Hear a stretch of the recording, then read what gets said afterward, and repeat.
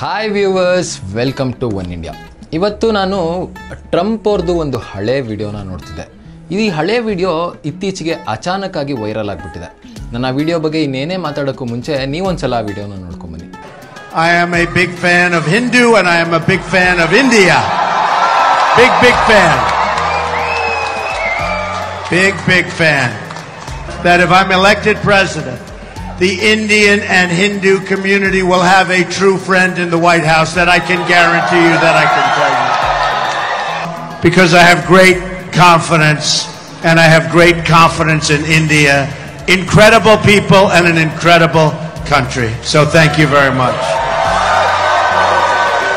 I was there 19 months ago and look forward to going back many, many times.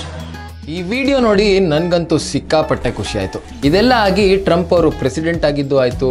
ಅವ್ರ ಜೊತೆ ಇವಾಗ ಇಂಡಿಯಾದವ್ರ ಒಡನಾಟ ಹೇಗಿದೆ ಅಂತ ನಿಮಗೆ ಗೊತ್ತೇ ಇದೆ.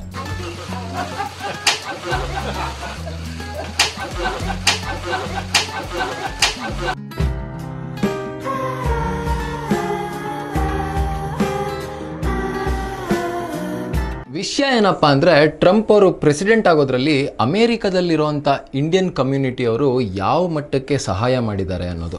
ಹೌದು, ಅಮೆರಿಕದಲ್ಲಿರೋ ಇಂಡಿಯನ್ಸು ಟ್ರಂಪ್ ಅವರು ಪ್ರೆಸಿಡೆಂಟ್ ಆಗೋದಕ್ಕೆ ತುಂಬಾನೇ ಸಹಾಯ ಮಾಡಿದ್ದಾರೆ.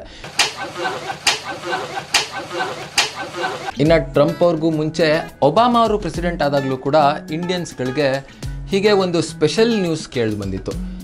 ಒಬಾಮಾ ಅವರು ಒಂದು ಇಂಟರ್ವ್ಯೂ ಅಲ್ಲಿ ತಮ್ಮ ಜೋಬಲ್ಲಿ ಇಟ್ಕೊಂಡಿದ್ದಂಥ ಒಂದು ಸಣ್ಣ ಹನುಮಂತನ ಮೂರ್ತಿಯನ್ನು ತೋರಿಸಿ ನಾನು ಇದನ್ನು ಯಾವಾಗಲೂ ಇಟ್ಕೊಂಡಿರ್ತೀನಿ. ಇದರಿಂದ ನನಗೆ ಒಳ್ಳೇದಾಗ್ತಾ ಇದೆ ಅಂತ ಕೂಡ ಹೇಳಿದರು. ಹೀಗೆ ಇಂಡಿಯನ್ಸ್ ಹಾಗೂ ಹಿಂದುತ್ವದ ಮಾತು ವೈಟ್ ಹೌಸಲ್ಲಿ ತುಂಬಾ ಕೇಳಿ ಬರ್ತಾ ಇದೆ. ಇವತ್ತು ನಾನು ನಿಮ್ಮ ಮುಂದೆ ಹೇಳಕ್ಕೆ ಹೊರಟಿರೋ ನ್ಯೂಸ್ ಏನಪ್ಪ ಅಂದರೆ ಟೂ ತೌಸಂಡ್ ಟ್ವೆಂಟಿಯಲ್ಲಿ ಅಮೇರಿಕಾದಲ್ಲಿ ಮತ್ತೊಮ್ಮೆ ಪ್ರೆಸಿಡೆಂಟ್ಗಾಗಿ ಎಲೆಕ್ಷನ್ ನಡೆಯುತ್ತೆ.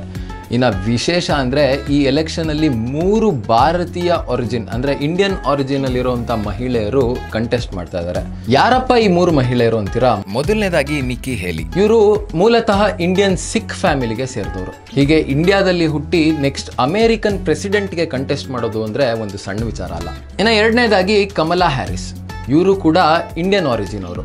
ಇನ್ನು ಕೊನೆಯದಾಗಿ ತುಳಸಿ ಗಬ್ಬಾರ್ಡ್ ತುಳಸಿ ಗಬ್ಬಾರ್ಡ್ ಅವರು ಅಮೇರಿಕನ್ ಕಾಂಗ್ರೆಸ್ನ ಮೊದಲನೇ ಹಿಂದೂ ಮಹಿಳೆ. ಹೌದು, ಈ ಮೂರಲ್ಲಿ ಯಾರಾದರೂ ಒಬ್ರು ಮುಂದೆ ಅಮೇರಿಕನ್ ಪ್ರೆಸಿಡೆಂಟ್ ಆದರೆ ಇಂಡಿಯಾದ ಹೆಸರು ಯಾವುದೋ ಎತ್ತರಕ್ಕೆ ಹೋಗೋದ್ರಲ್ಲಿ ಅನುಮಾನನೇ ಇಲ್ಲ.